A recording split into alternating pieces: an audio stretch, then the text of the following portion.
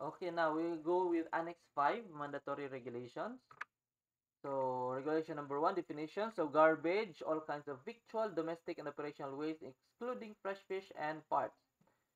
Maintenance waste, materials collected while maintaining and operating the vessel. Dishwater, residue from the manual automatic washing of dishes and cooking utensils. Regulation 3, disposal of garbage outside special areas. So, so lahat ng plastics is prohibited. So, disposal in the sea of all plastics is prohibited. Bawal ang plastic. Disposal, disposal into the sea of non-plastic is prohibited if distance from nearest land is less than 12, 25 nautical miles for dunnage, lining, and packing materials, which will float, and 12 nautical miles for food waste and all other garbage, including paper products, glass, metal, bottles, crockery, and similar refuse. Pero, may mga companies and may mga barko na ngayon na hindi na sila nagtatapon ng kahit anong garbage overboard. Kahit na gano'n pa yan kalayo, hindi na sila nagtatapon. Okay? And disposal of may be permit may be permitted when passed through a commuter commuter or grinder passing through a screen opening no greater than 25 millimeter. But in any case, it's prohibited discharge if distance from the nearest land is less than 3 nautical miles. So, okay, special requirements for disposal of garbage. So, disposal of any material is prohibited from fixed or floating platforms when alongside or within 500 meter of such platforms. So, disposal of food waste may be permitted when passed through a commuter or grinder from fixed or floating platforms located more than 12 nautical miles from land or within 500 meters of such, such platforms. Such food waste capable of passing through a screen with openings no greater than 25 millimeter. So regulation 5, disposal of garbage within special areas are, so the special areas for this annex are the Medi Mediterranean Sea area, the Baltic Sea area, the Black Sea area, Red Sea area, Gulf area, North Sea area, including Skagerrak and English Channel, the Antarctic area, and the wider Caribbean region. So disposal of garbage within special areas is uh, plastics is prohibited. All other garbage, including paper products, rugs, glass, metal, bottles, crockery, damaged lining, and packing materials, is uh, can be disposed uh, is prohibited also pala. So all plastics and all paper products, rugs, glass, metals, bottles, crockery, damaged lining, and packing materials, lahat ng yan is prohibited. Except lang sa disposal of food waste shall, shall be not less than 12 nautical mile from nearest land on special areas. Uh, food waste in wider Caribbean region have passed uh, which have passed through a commuter or grinder should not be less than 3 nautical mile provided passing through a screen opening no greater than 25 millimeter. So mixed garbage. So pag mixed garbage has more stringent requirements naman. Kasi hindi natin alam kung anong nasa loob niyan. And government of which party should reception facilities in all its ports should have reception facilities.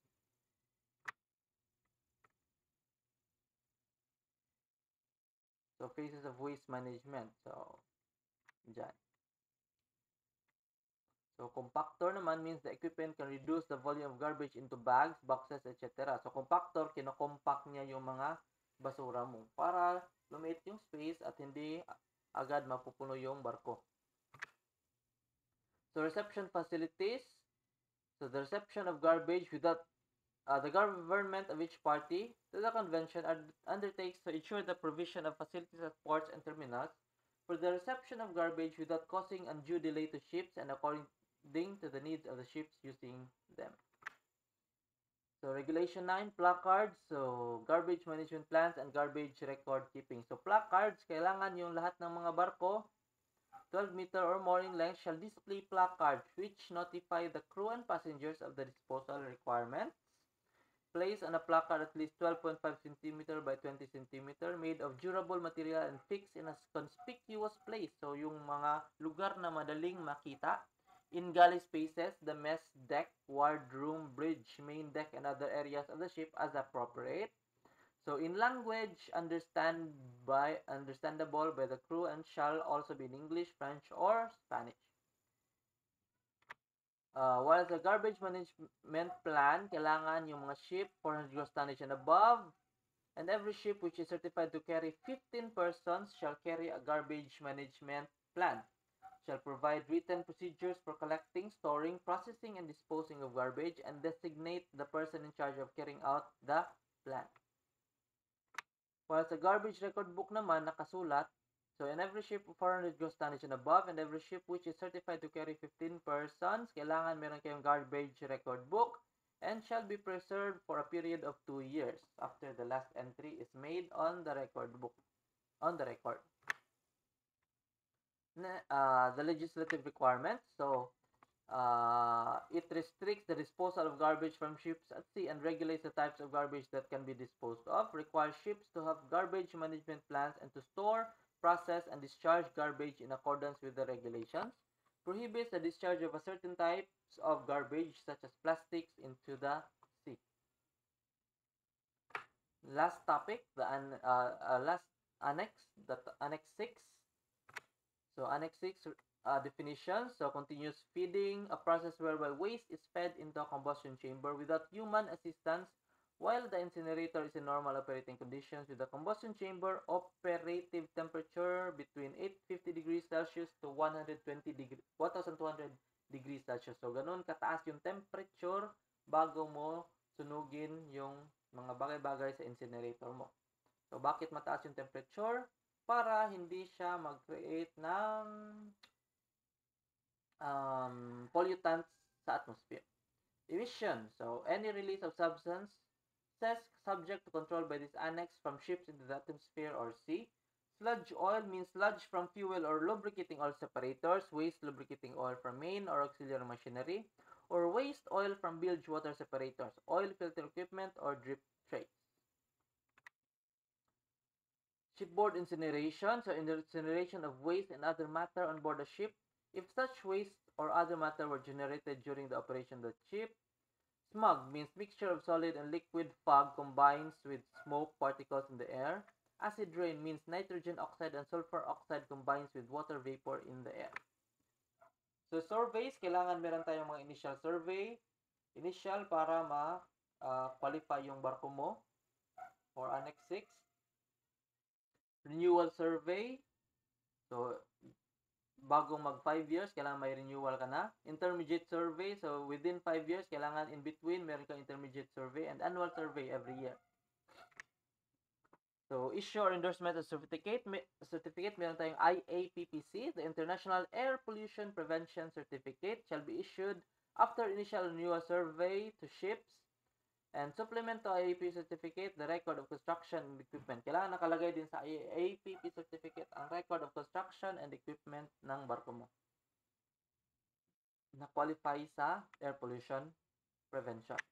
Okay, Regulation 6, issue or endorsement certificate. Notes, uh, record shall be permanently attached to the IAPP certificate. The IAPP certificate shall be available on board ship at all times. So, lahat ng pagkakataon. So if language of the original record is not English, French, or Spanish, the text shall include a translation to one of these languages. Okay, Appendix 5, sample test report as part of the NOx. An IPP certificate, pre-certification will be issued if engine will pass the NOx requirement.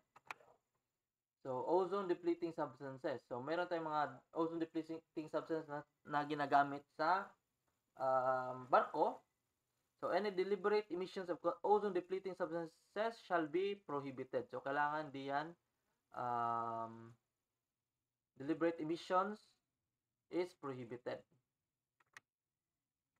So, these are some of the ozone depleting substances. Uh, the halon and CFC that may be found on board ship. So, meron tayong mga halon and CFC. Maraming klase yan. Meron din tayong mga refrigerants. So, ang chemical substance used for heat transfer, so yung ginagamit sa mga refrigeration system natin. So we have three different refrigerants, the CFC, HCFC, and HFC. So the CFC, the first halogen-based refrigerants were developed over six years ago. These refrigerants are composed of chloride, fluoride, and carbon, and called chlorofluorocarbons. So, maaaring makadamage ito ng atmosphere. Next, we have the HCFC, hydrochlorofluorocarbons. composed of methane or ethane in combination with a halogen. This makes up a new molecule that is considered to be partially halogenated. The HCFC have shorter lives and cause less ozone depletion than the fully halogenated CFCs. So, less ozone depletion siya, pero meron nakakasira pa rin, di ba? HFC refrigerant hydrofluorocarbons include such refrigerants are R134A and R124. So, these are the usual na ginagamit na natin ngayon. They're different from CFCs. They contain one more hydrogen atoms and no chlorine. So, pag walang chlorine, hindi siya nakaka-damage masyado sa atmosphere are considered to have zero potential for ozone depletion. They have only a slight effect on global warming. Meron pa rin disadvantage. May slight effect pa rin sa global warming. So, ito yung mga uh, HFC refrigerants natin. R134A, usual natin ginagamit.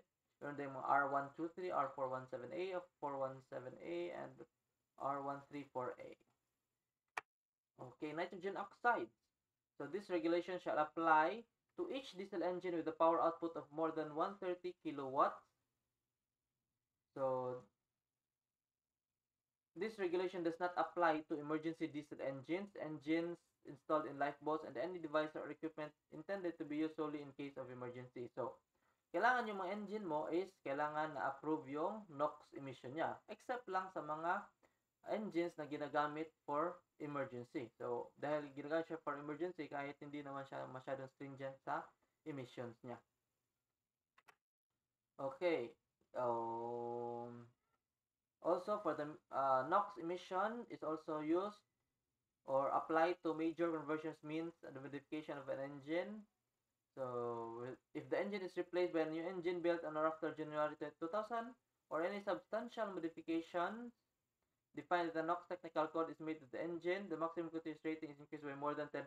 Pag yan yung nangyari sa uh, binago mo yung makina mo, kailangan pa rin mag um, kailangan ka rin pumasa sa NOx emission. So this regulation shall apply to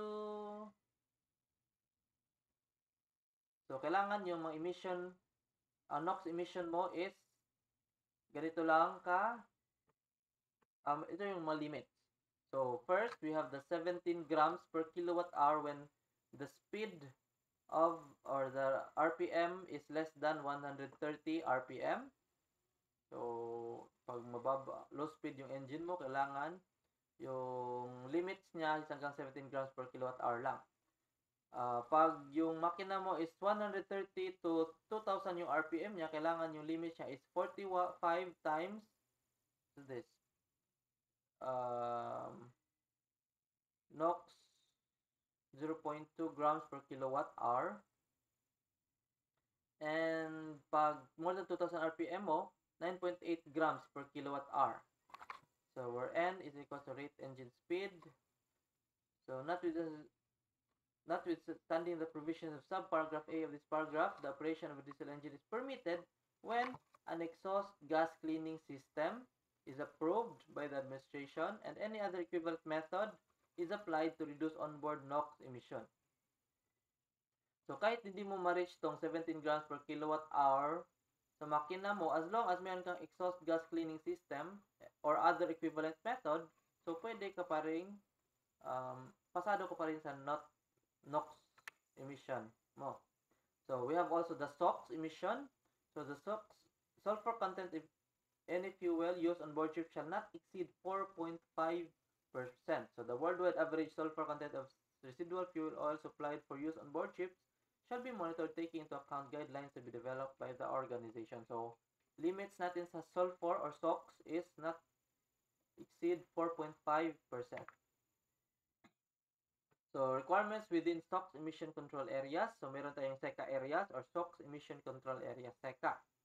So the second areas are the Baltic Sea, North Sea, English Channel, and any other sea area including port areas designated by the organization. Also, the California also is part of SECA. While ships are within SECA, at least one of the following conditions shall be fulfilled. First, the sulfur content of fuel oil used does not exceed 1%. Pag nasa SECA areas ka, 1% yung limit mo. Pero pag wala ka naman sa SECA areas, 4.5% yung limit mo sa sulfur. So, an exhaust gas cleaning system is applied to reduce the total emission of sulfur oxides from ships, in, ships including both auxiliary and main propulsion engines to 6 grams SOx per kilowatt hour or less. so, meron tayong 1%, meron tayong din tayong 6 grams. Kasi pag lumagpas ka ng kahit na hindi pa lagpas ng 1%, pero lumagpas yan ng 6 grams, so hindi pa rin pwede. So, any other technological method that is verifiable and enforceable to limit SOx emission. So, ships using separate fuel oil to comply with the regulation- shall allow sufficient time for the fuel oil service system to be fully flushed of all fuels exceeding 1% sulfur content prior to entry into SECA area. So, pag malapit ka na sa SECA areas, ah, maglilipat ka na ngayon na from heavy fuel oil, lilipat mo sa diesel, low sulfur fuel or mga diesel oil, diesel oil mo. So, kailangan, um, nakapaglipat ka na, pati yung mga natitira sa natirang heavy fuel oil sa linyada, it, kailangan wala na yung lahat. Napalitan na yon ng low sulfur fuel bago ka nakapasok sa SECA area. Okay, the following should be recorded in the logbook as prescribed by the administration.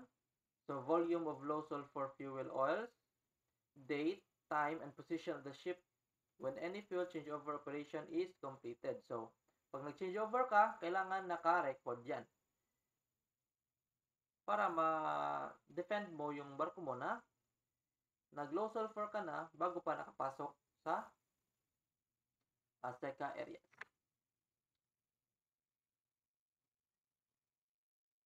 Okay, the main changes to MARPOL Annex 6 will see a progressive reduction in sulfur oxide emission from ships with the global sulfur cap reduced initially to 3.5 from the current 4.5% effective from January 2020 2012 then progressively to 0.50% effective from January 2020 subject of feasibility review to be completed no later than 2018.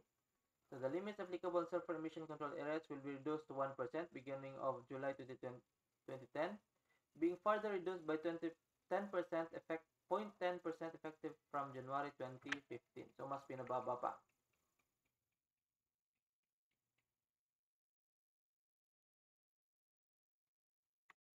Okay, progressive reduction emission from marine engines were also agreed. Low sulfur has environmental advantages but not always readily available and cost more than other fu- fuels. That is why some ships are now fitted with SOx scrubbing system. So may scrubber na yung mga bar uh, kadalasan ng mga barko to lower the SOx emission and we have also the volatile organic compounds from tankers are to be regulated in accordance with the provisions of this regulation. So all tankers should be provided the vapor collection system approved by the administration. So mga oil tankers and gas tankers, kailangan meron silang vapor collection system. Especially sa gas carriers pala to. So when the type of loading and containment system allows safe retention of non-methane box on board or their safe return ashore. Kasi yung mga volatile organic compounds, di pwedeng itapon sa atmosphere at baka may kas- makasira